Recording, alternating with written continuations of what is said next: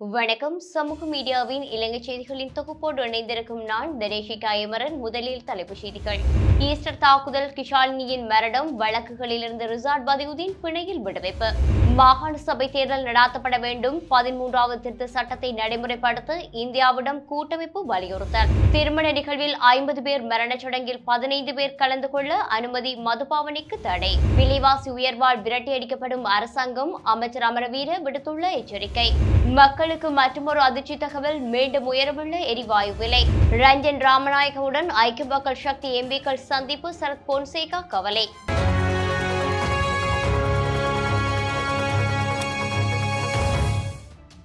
பதிமூன்றாவது திருத்த சட்டத்தை முழுமையாக நடைமுறைப்படுத்தியதன் பின்னர் மாகாண சபை தேர்தலை நடாத்துவதுதான் சிறந்ததாக அமையும். எனவே இந்தியா இந்த விடயத்தில் முனைப்புடன் செயல்பட வேண்டும் என தமிழ் தேசிய கூட்டமைப்பின் நாடாளுமன்ற உறுப்பினர் செல்வம் அடைக்கல்நாதன் கோரிக்கை விடுத்துள்ளார். மன்னரில் இன்று காலை இடம்பெற்ற ஊடகவியலாளர் சந்திப்பிலே அவர் இவ்வாறு குறிப்பிட்டுள்ளார். இந்தியாவின் அழுத்தம் காரணமாக மாகாண சபை தேர்தலை நடாத்த உள்ளதாக தெரிவிக்கப்படுகின்றது. மாறி மாறி ஒவ்வொருவரும் ஒவ்வொரு கருத்தை தெரிவிக்கின்றனர். அரசியலமைப்பு திருத்தம் செய்யப்பட்டதன் பின்னர் தான் தேர்தல் இடம்பெறும் என கூறுகின்றார் அடுத்த வருடம் தேர்தலை நடாத்த உள்ளதாகவும் தெரிவிக்கின்றார்கள். புதிய தேர்தல் முறையில் தான் தேர்தல் நடாத்தப்பட வேண்டும் என்றும் தெரிவிக்கிறார்கள். எனவே மாகாண சபை தேர்தலை நடாத்த வேண்டும் என்பதில் எங்களுடைய கோரிக்கை பிரதானமாக உள்ளது. இந்த நேரத்தில் பதிமூன்றாவது திருத்த சட்டத்தில் கூறப்படுகின்ற அனைத்து விடயங்களையும் நடைமுறைப்படுத்தப்படுகின்ற ஒரு வழிமுறையை கையாளுகின்ற முறையை இந்தியா செய்ய வைக்க வேண்டும் என்பது இந்த கோரிக்கை. அதிகாரம் இல்லாத மாகாண சபையை நாங்கள் ஏற்றுக்கொண்டு அதனூடாக எங்களது நிலங்களை பாதுகாப்பது மற்றும் நமது பிரச்சனைகளை கையாள்வது என்பது மிக ஒரு கேலித்தனமான விடயமாக நாங்கள் பார்க்கின்றோம். எனவே பதிமூன்றாவது திருத்த சட்டத்தை முழுமையாக நடைமுறைப்படுத்தியதன் பின்னர் மாகாண சபை தேர்தலை நடாத்துவது என்பதுதான் சிறந்ததாக அமையும். இந்தியா இந்த விடயத்தில் முனைப்புடன் செயல்பட வேண்டும் என்ற கோரிக்கையை முன்வைக்கின்றேன் என அவர் மேலும் தெரிவித்துள்ளார். ஈஸ்டர் தாக்குதலை நடாத்திய பயங்கரவாதிக்கு உதவிய குற்றச்சாட்டு மற்றும் சிறுமிக்கு ஷாலினியின் மரணம் தொடர்பான வழக்குகளிலிருந்து நாடாளுமன்ற உறுப்பினர் ரிசார்ட் பதியுதீன் பிணையில் விடுவிக்கப்பட்டுள்ளார். ஈஸ்டர் தாக்குதல் நடாத்திய பயங்கரவாதிக்கு உதவியாக குற்றம் சாட்டப்பட்ட வழக்கு இன்று வியாழக்கிழமை கொழும்பு கோட்டை நீதிமன்றத்தில் விசாரணைக்கு எடுத்துக் கொள்ளப்பட்டது. இதன்போது ஐம்பது லட்சம் ரூபாய் பெறுமதியான இரண்டு பணிகளில் அவரை விடுவிக்க கொழும்பு கோட்டை நீதவான் பிரியந்தலியனை உத்தரவிட்டுள்ளார். இதேவேளை நாடாளுமன்ற உறுப்பினர் ரிசார்ட் பதியுதீன் வீட்டில் பணியாற்றி வந்த சிறுமிக்கு ஷாலினி மரணித்தமை தொடர்பிலும் நாடாளுமன்ற உறுப்பினர் ரிசார்ட் மீது குற்றச்சாட்டு முன்வைக்கப்பட்டிருந்தது. இந்த நிலையில் குறித்த வழக்கு தொடர்பான விசாரணைகளுக்காக கொழும்பு கொழும்பு பிரதம நீதவான் நீதிமன்றிலும் அவர் முன்னிலைப்படுத்தப்பட்டார்.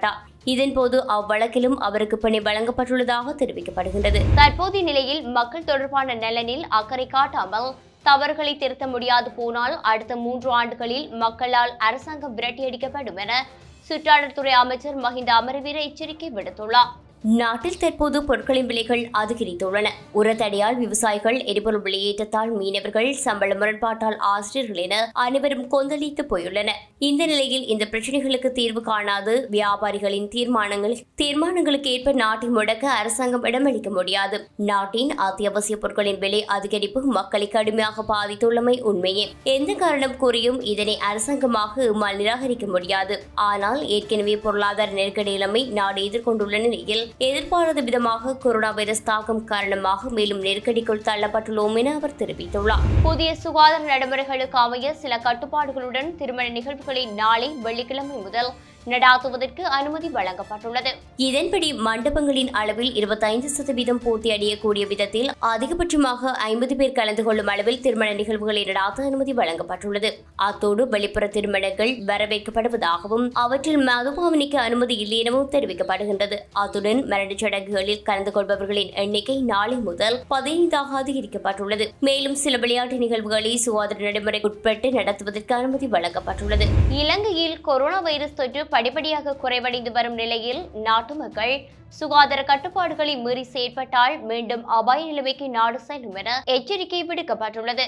மேலும் நாட்டை பச்சை வலயத்திலேயே நீடிக்க வைப்பது மக்களின் கடமையாகும் என சுகாதார அமைச்சின் தொழில்நுட்ப சேவைகள் பணிப்பாளர் நாயகம் அன்வர் ஹம்தானி தெரிவித்துள்ளார். இது தொடர்பாக கருத்து வெளியிட்டுள்ள அவர் கொரோனா வைரஸ் பரவலை கட்டுப்பாட்டிற்குள் கொண்டு வந்த நாடுகள் மாத்திரமே பச்சை வலயத்தில் சேர்க்கப்படும் என்றும் இலங்கையில் கொரோனா தொற்று தாக்கம் கட்டுப்பாட்டிற்குள் கொண்டுவரப்பட்டுள்ளதால் இலங்கையும் சிவப்பு வலயத்திலிருந்து பச்சை வலயத்திற்கு முன்னேறியுள்ளது என்றும் அவர் குறிப்பிட்டுள்ளார். அத்தோடு இலங்கையில் தற்போது பதிவாகும் நாளாந்த கொரோனா மரணங்கள் மற்றும் தொற்றுகளின் எண்ணிக்கை அடிப்படையில் உலக சுகாதார அமைப்பு உட்பட பல சர்வதேச அமைப்புகள் நாட்டை மீண்டும் கொரோனா பச்சை வலயத்திற்கு அனுமதித்துள்ளன என அவர் மேலும் தெரிவித்துள்ளார்.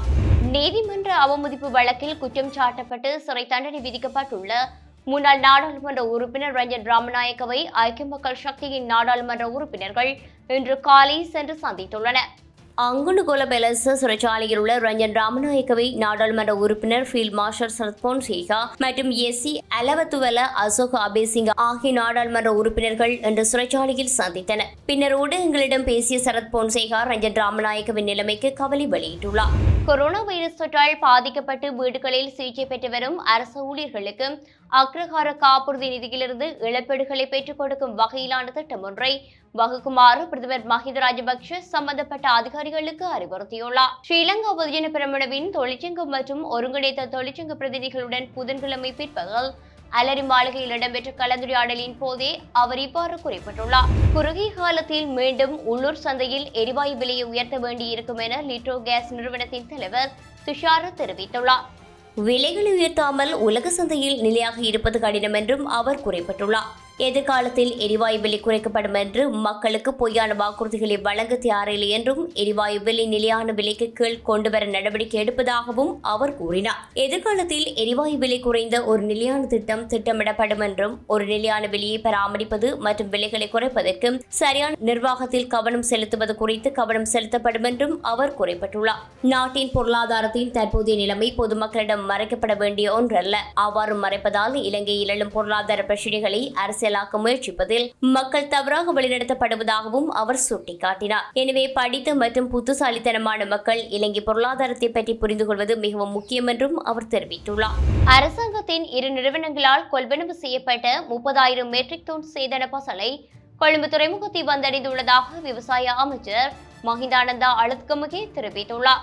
இம்முறை பெரும்போகத்துக்கு தேவையான சேதன பசலியை விநியோகிக்கும் வேலை திட்டம் இன்று அம்பாறை மாவட்டத்தில் ஆரம்பிக்கப்பட்டுள்ளது. அத்துடன் நாடளாவிய வேலை திட்டமாகவே குறித்த சேதன பசல் இறக்குமதி செய்யப்பட்டுள்ளது. மேலும் சேதன பசலை பங்கீட்டின் போது பெருமளவில் நெற்றிகை மேற்கொள்ளப்படும் அம்பாறை அம்பாந்தோட்டை முனராகலை குருநாகல் புத்தளம் மற்றும் அனுராதபுரம் ஆகிய மாவட்டங்களுக்கு முன்னுரிமை அளிக்க விவசாய அமைச்சு தீர்மானித்துள்ளமை குறிப்பிடத்தக்கது. வார இறுதியில் தட்டுப்பாடின்றி நுகர்வோர் பால்மாவை சந்தைகளில் பெற்றுக்கொள்ள முடியும் என பால்மா வர்த்தகர்கள் சங்கத்தின் முக்கியஸ்தரான லக்ஷ்மண் வீரசூரிய தெரிவித்துள்ளார். மேலும் எண்ணாயிரம் தொன் பால்மாவுக்கான தட்டுப்பாடு தற்போது சந்தையில் நிலவுவதாகவும் மட்டுப்படுத்தப்பட்ட தினங்களில் ஒரே தடவையில் பெருமளவு பால்மாவை சந்தைக்கு விநியோகிக்க முடியாதுள்ளது என்றும் அவர் குறிப்பிட்டுள்ளார். எவ்வாறாயினும் மேலும் எட்டு கொள்கலன் பால்மா விடுவிக்கப்படுவதற்காக துறைமுகத்தில் உள்ளதாகவும் அவர் சுட்டிக்காட்டியுள்ளார். இலங்கை எல்லைக்குள் அத்துமீறி நுழைந்த மீன்பிடி நடவடிக்கைகளில் ஈடுபட்டிருந்த இருபத்தி மூன்று இந்திய மீனவர்களுடன் அவர்கள் பயணித்த இரண்டு படகுகளையும் காங்கேசன்துறை கடற்படையினர் கைப்பற்றியுள்ளனர். கடலில் இந்திய இலங்கை மீனவர்களுக்கு இடையில் மோதல் ஏற்பட்டிருந்தது. அதனைத் தொடர்ந்து கடற்படையினர் விசேட ரோந்து நடவடிக்கையில் ஈடுபட்டிருந்த போதே இந்திய மீனவர்கள் இவ்வாறு கைது செய்யப்பட்டுள்ளனர் கைது செய்யப்பட்ட இருபத்தி மூன்று மீனவர்களும் மயிலட்டி துறைமுகத்திற்கு அழைத்து செல்லப்பட்டுள்ளனர். அவர்களுக்கு ஆன்டிஜென் பரிசோதனை செய்யப்பட்ட பின்னர் நீரியல் வளத்துறை திணைக்கள அதிகாரிகளிடம் ஒப்படைக்கப்பட உள்ளதாக தெரிவிக்கப்படுகின்றது. பாகிஸ்தானில் இருந்து ஆயுதங்களை கடத்தல் மற்றும் ஹெரோயின் வியாபாரத்தில் ஈடுபட்டமை தொடர்பில் கைது செய்யப்பட்டுள்ள விடுதலை புலிகளின் முன்னாள் உறுப்பினர்களுக்கு எதிராக மேற்கொள்ளப்படும் விசாரணைகளுக்கு முழு ஒத்துழைப்பையும் வழங்குவதாக இலங்கை பாதுகாப்பு தரப்பினர் தெரிவித்துள்ளனர். இந்த விடயம் தொடர்பாக மேற்கொள்ளப்படும் விசாரணைகளுக்கு இந்திய புலனாய்வு முகமை இலங்கை அரசாங்கத்தின் ஒத்துழைப்பை பெறுவதற்கு தீர்மானித்துள்ளதாக முன்னதாக தெரிவிக்கப்பட்டிருந்தது. இதன் அடிப்படையில் பாதுகாப்பு அமைச்சினூடாகவும் புலனாய்வு பிரிவுகளினூடாகவும் ஒத்துழைப்புகளை வழங்கவுள்ளதாக பாதுகாப்பு தரப்பில் தெரிவிக்கப்பட்டுள்ளது. அத்துடன் குற்றப்புலனாய்வு திணைக்களத்தினரும் இதற்கு ஒத்துழைப்பு வழங்குவதாக போலீஸ் ஊடக பேச்சாளர் தெரிவித்துள்ளார். வாகனங்களுக்கிடையேயான பேருந்து மற்றும் ரயில் சேவைகளை மீண்டும் ஆரம்பிப்பதற்கு தயாராக உள்ளதாக போக்குவரத்து ராஜாங்க அமைச்சர் திலும் அமனுக்கமும் தெரிவித்துள்ளார். எதிர்வரும் இருபத்தோராம் தேதி மாகாணங்களுக்கு இடையிலான போக்குவரத்து சேவைகளை முன்னெடுப்பதற்கு சுகாதார அதிகாரிகளின் ஒப்புதல் அவசியம். இந்த நிலையில் இலங்கை தனியார் பேருந்துரிமையாளர்கள் சங்கத்தின் தலைவர் கெமனு விஜயரட்ன சமீபத்தில் பேருந்து கட்டணத்தை உயர்த்த கோரிக்கை எதனையும் முன்வைக்கவில்லை. எவ்வாறாயினும் எரிபொருள் விலைகள் அதிகரித்தால் பேருந்து கட்டணங்களும் அதிகரிக்கப்பட வேண்டும் என தெரிவித்துள்ளார். நாட்டில் இருபது வயதுக்கு மேற்பட்ட மக்கள் தொகையில் எண்பத்தைந்து சதவீத மாணவர்களுக்கு கொரோனா தடுப்பூசி செலுத்தப்பட்டுள்ளதாக சுகாதார அமைச்சு தெரிவித்துள்ளது. அவர்களுள் ஐம்பத்தேழு தசம் ஐந்து சதவீத மாணவர்களுக்கு இரண்டு டோஸ்களும் வழங்கப்பட்டுள்ளன. இதேவேளை நேற்று அறுபத்தொன்பதாயிரத்து தொள்ளாயிரத்தி இரண்டு பேருக்கு கோவிட் தடுப்பூசி செலுத்தப்பட்டுள்ளமை குறிப்பிடத்தக்கது. இத்துடன் சமூக மீடியாவின் இலங்கை செய்திகளின் தொகுப்பு நிறைவடைகின்றது. வணக்கம். இது போன்ற பல செய்திகளை தெரிந்து கொள்ள நம்முடைய சமூக மீடியா யூடியூப் சேனலை சப்ஸ்கிரைப் செய்து அருகிலுள்ள பெல் பட்டனை கிளிக் செய்யுங்கள். மேலும் செய்திகளை உடனுக்குடன் தெரிந்து கொள்ள சமூக மீடியா டாட் காம் என்ற இணையதளத்தின் வாயிலாக எங்களுடன் இணைந்திருங்கள்.